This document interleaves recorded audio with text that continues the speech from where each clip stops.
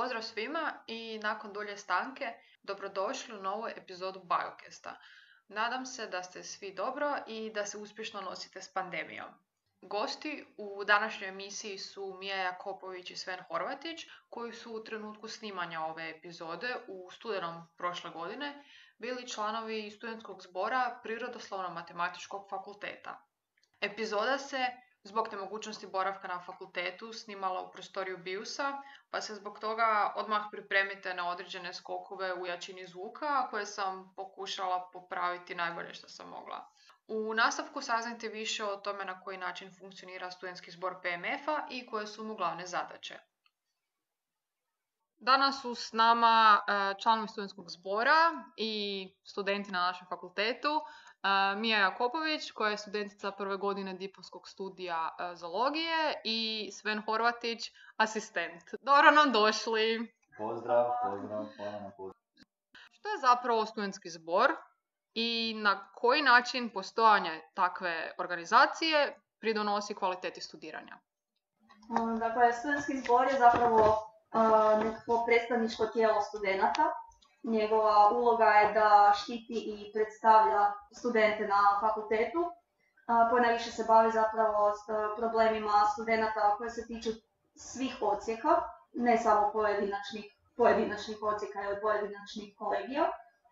I on ima zapravo tu jednu glasničku ulogu gdje prenosi informacije od studentske zajednice prema recimo nekakvim vijećima, studentskom pravobranitelju, nekakvom kolegiju, znači fakultetskom kolegiju um, ili drugim nekakvim službenim osobama na fakultetu.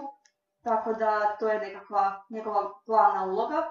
Osim toga zapravo provodi natječaje za odabir članova tih različitih vijeća, fakultetskog i uh, vijeća odsjeka i bira studentskog pravobranitelja koji djeluje na razini PMF-a s njima zapravo i surađuje i komunicira konstantno i nadzire njihov rad. Tako da postoji ta nekakva zajednica studenata koja se sastoji ne samo od studentskog zbora koji onda zajedno djeluju na fakultetu.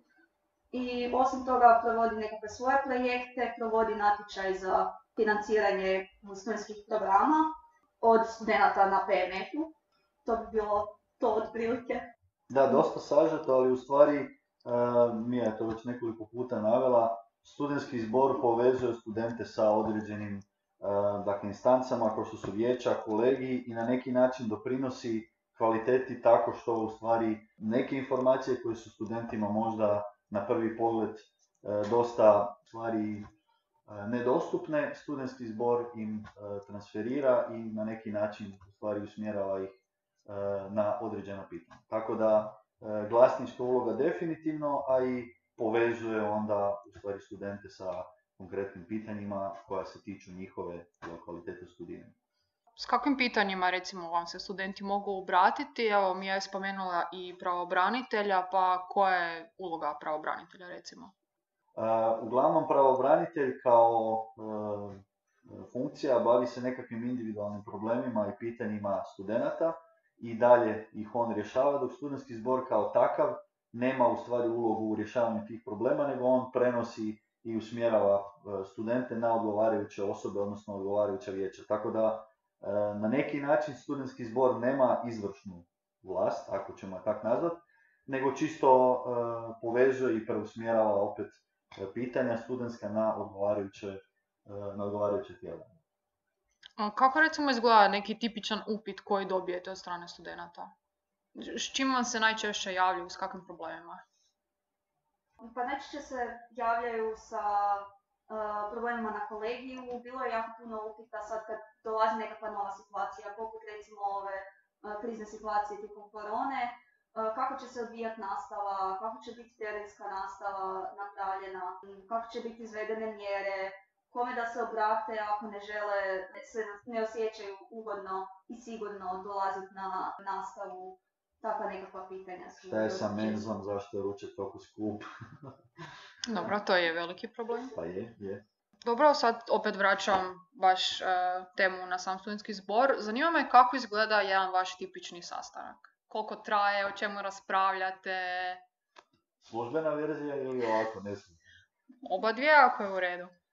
Traje dosta dugo. Dakle, mi prije e, samog sastanka dobivamo dnevni red kojemu možemo pristupiti, možemo komentirati, možemo dodavati i predlagati nekakve točke. Nakon toga, dakle, završava se sa izmjenama dnevnog reda taj dan i zatim na samom sastanku prelazimo po tim e, točkama.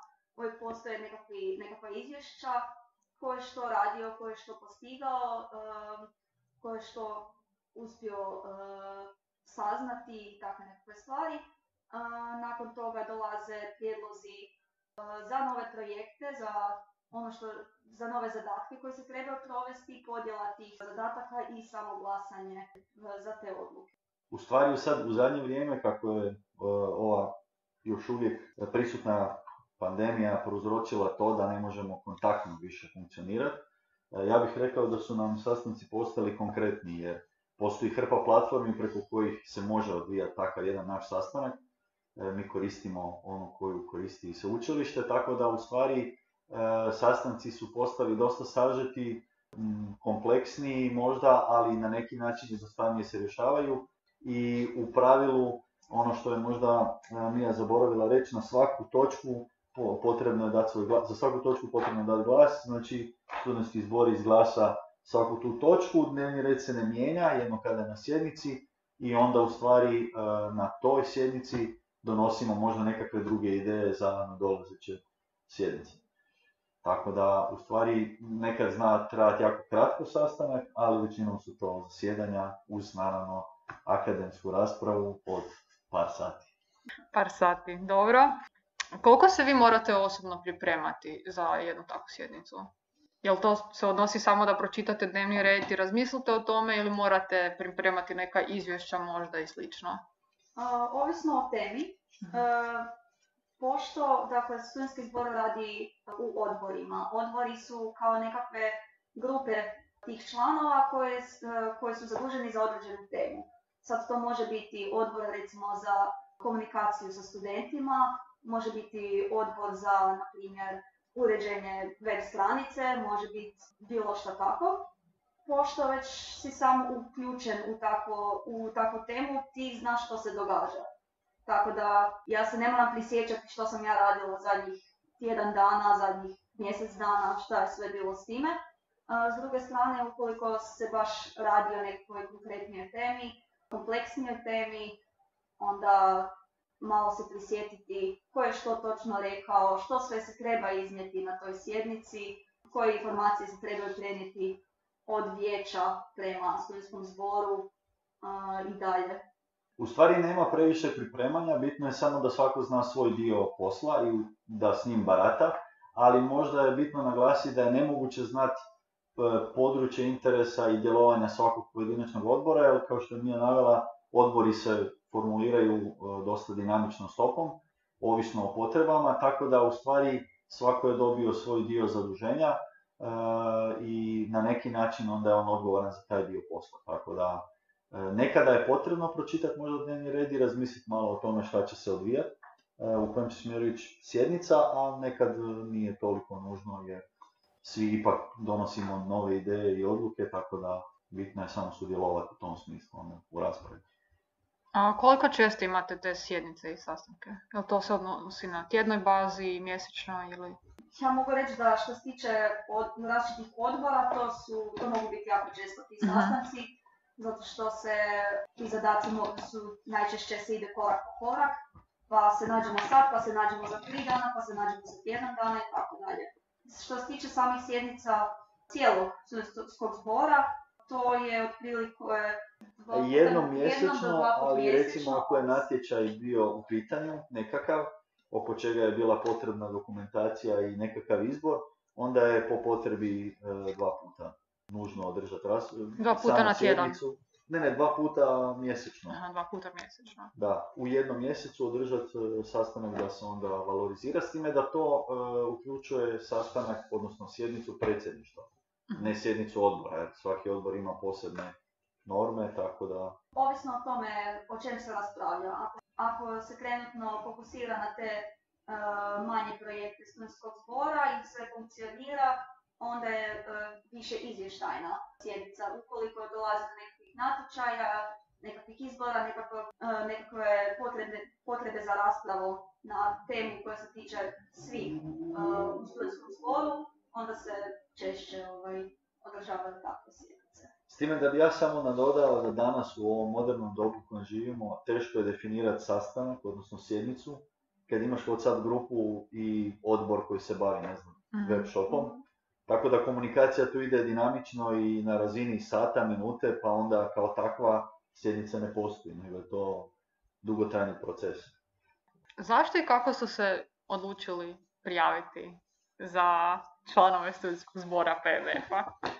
Pa evo, ja moram biti iskren, e, kao student nisam baš bio previše upoznat sa studentskim zborom, znao sam da to negdje tamo u daljini postoji, ali konkretno e, kolegica iz BIUS, odnosno BIUS kao jedna od udruga je bila meni barem ključni faktor koji me potaknuo i koji me u stvari na neki način kandidirao, odnosno potaknuo da se kandidiram na natječaj studentskog zbora. E, definitivno sad kada pogledam, to je bila dobra odluka, a ono što je meni falilo možda kao studentu je upravo takva nekakva udruga, organizacija ili što god, koja bi rekla ili navela e, opciju uopće prijavljivanja na takvu, takvu jednu stvar, odnosno zbor, jer danas e, studenti imaju hrpu pitanja, pogotovo s obzirom na situaciju koja je totalno dinamična i nepredvidljiva. Tako da mislim da je definitivno to bio dobar potez, ali moram navesti da je tu BIUS imao jako veliku ulogu i e, na neki način me kandidirao onda na sam natječaj. Što je naravno bila moja odluka, ne želim da sad ispadne da su oni stali 100% iza toga, ali definitivno su prenijeli ključne informacije kad je to trebalo. Da, ja sam zapravo također preko inicijative BIUS-a saznala i bila potaknuta da, da uopće razmišljam o tome. Ja sam bila prije toga u svom svijetu, bavila se nekim svojim problemima, nije mi palo ni na kraj pameti dok nije se pokrenula ta tema.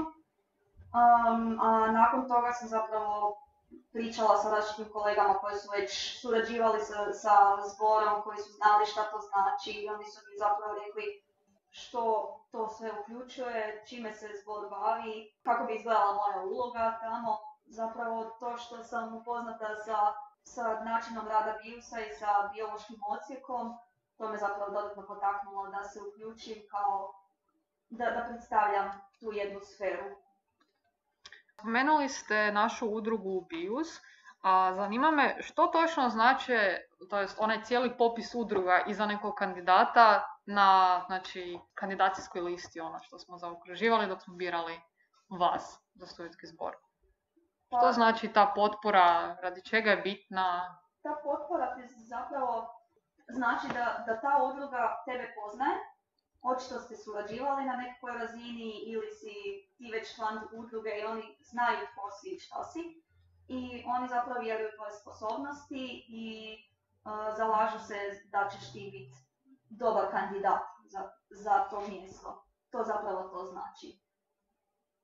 Na neki način u stvari daju garanciju mm za tebe, iako kad se prijavljaš na natječaj puno je bolje imati više pisma preporuke jer to znači da jednostavno si radio više stvari u životu ili za vrijeme studiranja i da znaš možda više ljudi koji su prošli kroz taj e, proces zajedničkog rada i onda na neki način su uvjereni, odnosno daju ti kredibilitet za to što radiš i na neki način ti vjeruju.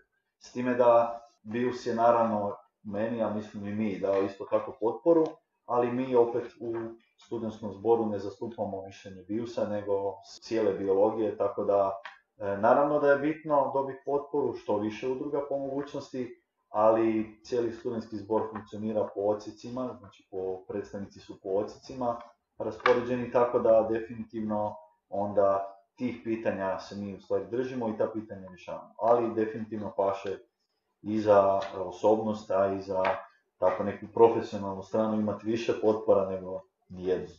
Ja bih to zapravo usporedila sa nekakvim, uh, ajmo reći, onim natječajima za financiranje, uh ako znaju studenti, ako su upoznati s time. Dakle, ti da se prijaviš na nekakav natječaj da ti se financira projekt, ti možeš priložiti nečiju potporu. I ta potpora ti znači da ta stručna osoba koja, se, koja je recimo povezana sa time što, što ćeš ti raditi, da ta stručna osoba tebe poznaje i vjeruje da ćeš ti to dobro, dobro moći ispuniti. Na taj isti način su i ove potpore. Sven, spomenuo si da vi kao predstavnici znači zapravo reprezentirate cijelu biologiju. Samo vas dvoje ste predstavnici u studentskom zboru PMF-a. Je li to zbog toga jer samo biologija kao ocijek ima samo dva mjesta u studentskom zboru ili se jednostavno nije više ljudi kandidiralo? Pa evo iz moje perspektive ja mogu reći da mi činimo dio samo uh, cijelog saziva studentskog zbora koji je dosta manji, ali opet postoje ocijeci ko, na kojima je jednostavno ograničen broj studenata, pa onda oni na neki način doprinose sa manjim brojem ovaj, svojih predstavnika. E, malo je čudno da biologija kao dosta velik ocijek ima tako mali broj predstavnika. Nisam upoznat sa prijašnjim sazivom, tako da ne mogu procijeniti da li je prije bilo više, možda danas ih je manje. Ja bih htjela reći da ne postoji kvota koliko mm. studenta mora biti iz određenog ocijeka. Naprimjer, Postoji generalna kvota od 15 ljudi, tako da... U cijelom studentskom zboru Cijeli studentski zbor obuhvaća 15 kandidata, odnosno 15 studenata, od čega su tri e, asistenta, odnosno doktoranda i 12 je studenata preddiplomskog i diplomskog studija, što naravno podrazumijeva da se bilo tko može javiti, ali na neki način očekuje se da student koji se javlja u studentski zbor bude ipak malo iskusniji, tako da a i naravno uvjet postoji za pristupanje, tako da onda u stvari studenti na prvoj godini taj uvjet ne mogu, nažalost na sreću, ispuniti. Tako da, e, biologija kao ocijek, e, ja bih se usudio reći, jako je dobro rangirana i funkcionira vrlo dobro, jer možda neka pitanja koja su se rješavala na početku mog e, angažmana u, u zboru su na, kod nas na biologiji puno ranije definirana bila i na neki način riješena, tako da to niti malo ne znači da na biologiji ne postoje problemi, ali možda nisu na onoj razini kao na drugim ocicima. Ako je to samo moje mišljenje, eto, onda uh, ja ga kao takvog zastupam, ali čini mi se iz dosadašnje situacije da je to zaista tako. Stvar je zapravo da smo mi odabrani putem izbora. Znači bili su izbori na kojima su mogli sudjelovati apsolutno svi studenti PMF-a i oni su uh, za svakog kandidata posebno e, glasali. Sad može se raspravljati naknadno o tome da, da se postave određene kvote, da mora biti jedan predstavnik iz svakog odsjeka, ali za sad to još nije prepisano nikakvim statutom, nikakvim pravilnikom mm. o održavanju natječaja i drugo. A ovi kandidati koji jesu, oni su zapravo bili uh, favorizirani od strane studenata i po rang ljestvici smo mi ti koji su onda zapravo upali u novi zbor. Hoćeš reći najbolje što PMF ima? što se, barem iz očiju studenata. da, da. S obzirom da vas je samo dvoje, je li ponekad teško izboriti se za biološki ocijek na sjednici? Ili to sve ipak uključuje neki fair play? Pa ja bih rekla da se definitivno vidi veća razlika kad je dvoje ljudi iz istog ocijeka naspram kad je samo jedna osoba u studentskom zboru. Um, sad da li to premalo, nisam sigurna. U svakom slučaju puno znači imati još jednu osobu sa strane. Što ne znači da se ne vidi ta nekakva razlika što se tiče recimo količine studenata sa kemijskog ocijeka ili matematičkog ocijeka gdje ih više, ali generalno ja mislim da matematički i zaslužuje imati dovoljno svojih predstavnika trenutno, pošto imaju različita neriješena pitanja. Kao što je sve već prije komentirao, stvarno na biologiji stvarno je poprilično dobro organizirano i ta nekakva pitanja koja se spominju onda u vezi biološkog odsjeka nisu toliko gadna kao sa nekih drugih odsjeka. Samo dodam nešto, E, važno je naglasiti kako e, za vrijeme sjednice i za vrijeme nekakvog zajedničkog odlučivanja ne vuče jedna strana na drugu ili možda ne postoji ta diskrepancija, dosta je sve ravnopravno i trebamo stvarno pohvaliti kolege koji dosta u stvari pažnje nama pridaju, nekada kada to čak nije niti potrebno, jer realno možda mi nekada nemamo ništa za nadodat, za uključiti se i tako dalje. Tako da bez obzira što je možda neki kolega sa ocijeka više, to se baš i ne osjeti na sveukupnom sastavu. Da, ja moram reći da je atmosfera zapravo prilično dobra i svi smo tu zajedno i kogod da, da ima nekakav problem, a stvarno je znalo biti različitih i individualnih problema i problema što se tiče ocijeka, zapravo svi pokušavamo jednim drugima pomoći i to se stvarno najviše osjeti. Svi članovi studentskog zbora PMF-a su ujedno i članovi fakultetskog vijeća PMF-a. Možete li ukratko objasniti što to znači i koje su vam zadaće u fakultetskom vijeću? Trenutno uh, jest većina, većina naših članova zapravo je u fakultetskom vijeću, ali nije, nisu svi. To ne dolazi automatski i za fakultetsko vijeće se mogu i drugi studenti prijavljivati. Sada su malo prije nedavno bili natječaj isto otvoreni za, za recimo fakultetsko vijeće i promijenila se situacija, dosta novih članova studenta dolazi. Sada će biti samo četiri zapravo zastupnika iz studentskog zbora koji su ujedno i na fakultetskom mhm. vijeću. Što se tiče uloge fakultetskog vijeća, to je, ajmo reći, ima sličnu ulogu kao vijeće ocijeka, samo što djeluje na cijelom PMF-u. Dakle, PMF ima to svoje fakultetsko vijeće, ali također ima i tih sedam vijeća ocijeka, zato što smo, smo dovoljno autonomne jedinice i potrebno je zapravo raščlaniti to sve na, na različita vijeća. fakultetsko vijeće onda zapravo razgovara o nekakvim općenitim pitanjima i nekakve odluke koje, koje dolaze, koje su donesene na vijećima ocijeka, zapravo se šalju onda gore na fakultetsko vijeće i u fakultetskom vijeću se opet izglasavaju ti prijedlozi. Um, ono se ne bavi toliko pitanjima samih odsjeka, dosta izvještavanja, isto tako uh, odabira različitih uloga na, na fakultetu. I studentski zbor zapravo pošto je dio studentskog zbora ujedno i na fakultetskom vijeću, to je vrlo korisno pošto znamo što se događa, možemo lakše prenijeti informacije i reagirati odmah. Mi je to super objasnila, ja bih samo nadodao, iako si to već rekla, da se na fakultetskom vijeću ne rješavaju pitanja koja su možda odsječka, tako da sve što je vezano uz napredovanja, promocije i tako dalje se rješava na razini fakultetskog vijeća, a ove neke manje stvari, na primjer nastavne, stvari, e, recimo broj, broj demonstratora na pojedinim kolegijima i takve nekakve nastavne stvari se ne rješavaju na fakultetskom vijeću, već to je stvar ocjena. Dobro, došli smo do zadnjeg pitanja danas. S obzirom na činjenicu da su zapravo svi članovi studentskog zbora studenti, bilo doktorskih ili preddiplomskih, diplomskih i integriranih studija, kako ste se snašli u svemu tome? Je li vam to bilo previše obveza, pogotovo evo tebi mi ja, s obzirom da si u vijeću biološkog odsjek, nadzornom odboru BIUS-a?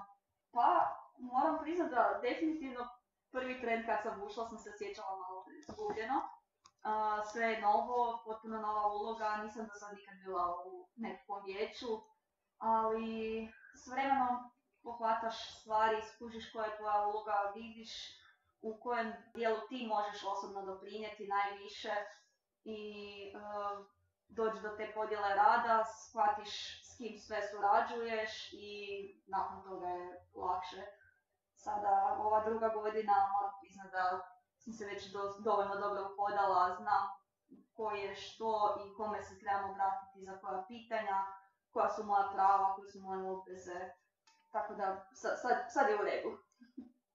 Da, složio bi se sa Mijom i zaista je tako. Na početku je možda malo čudno zato što e, ako tako nešto prije niste iskusili, onda je teško i držati ritam i znati kad što treba reći ali isto tako moram reći ja za sebe, a mislim da će i ostalo dvoje kolega koji su doktoranti to potvrditi, nastroje ipak ima malo manju ulogu, odnosno malo manji obujam posla nego što su to kolege sa e, nižih godina, odnosno preddiplomski i diplomski studij.